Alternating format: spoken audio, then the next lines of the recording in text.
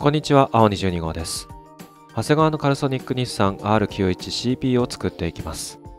このキットは2018年12月に発売された長谷川にとって久々のグループ C カーのキットです。エンジンは見えるところのみの再現ですが、ブレーキキャリパーが別パーツ化されているなど、通常のカーモデルよりも細かく再現されているところもあります。またデカールはカルトグラフ製で、シルクスクリーン印刷のとても発色のいいものが付属します。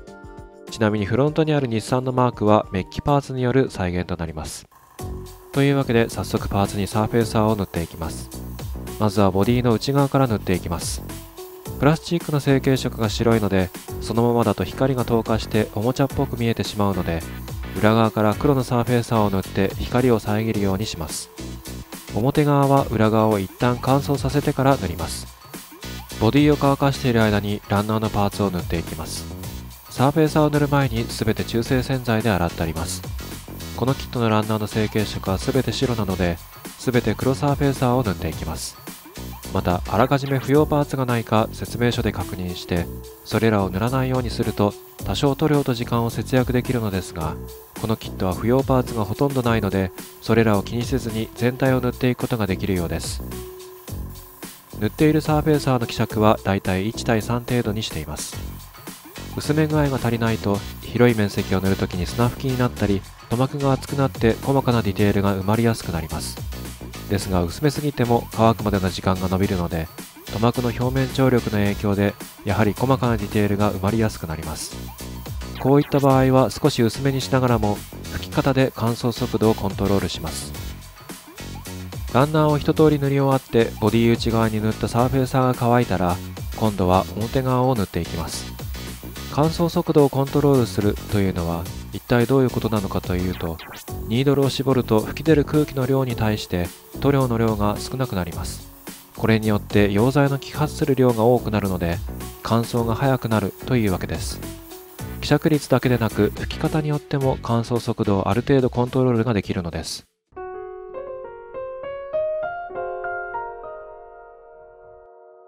サーフェーサーが乾いたらパーツをすべて切り離していきます。本来は説明書を見ながら段階を追って必要なパーツだけをその都度切り離していくものですが24分の1のカーモデルを作るのに慣れてくると要所要所説明書で確認しただけで大体どのパーツをどこで使うかがわかるようになるものです。ところでこのターボシステムのパーツですがゲートがものすごく太いのでゲートでないところを切ってしまったかと一瞬ヒヤッとしますがそれで問題ないようです。このキットはエンジン全体が再現されているわけではなく内部の再現はあくまでも外側から見えるところまでということになってはいますが割とパーツ数は多めです。いつもと同様に2度切りで切っています。ゲートを少し残した状態で切り残したゲートは後でまとめて再び切っていきます。すべてのパーツをランナーから切り離したら残ったゲートを切っていくわけですがこの時に誤って身のところを切らないように注意します。パーツによってはどこまでがゲートなのかが分かりにくいものもあり例えばこのパーツですが突起部分がフロントガールの傾斜に合うように先が斜めになっている必要があるのですがゲートと身の境目が分かりにくいのでここをうまく斜めにカットしないとカウルにぴったりと接着することができなくなります。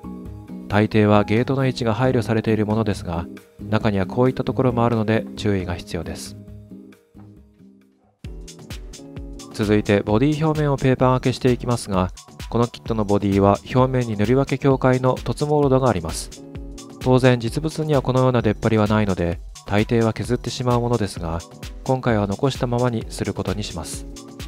確かに残したままにすると完成後も余計な突起が気になりますがこのような目印があるとマスキングするときに位置決めがしやすくなります。微妙な曲線などを何も目印なしでマスキングするのはなかなか難しいものです。というわけで極力このモールドを残したままペーパー分けをしていくことにします。ペーパーはタミヤの600番のフィニッシングペーパーを使って中性洗剤を混ぜた水をつけながら表面をやすっていきます。水だけでもいいのですが中性洗剤を少しだけ混ぜておくと海面活性剤の力によってやすった時に出た削りカスが水に混ざりやすくなります。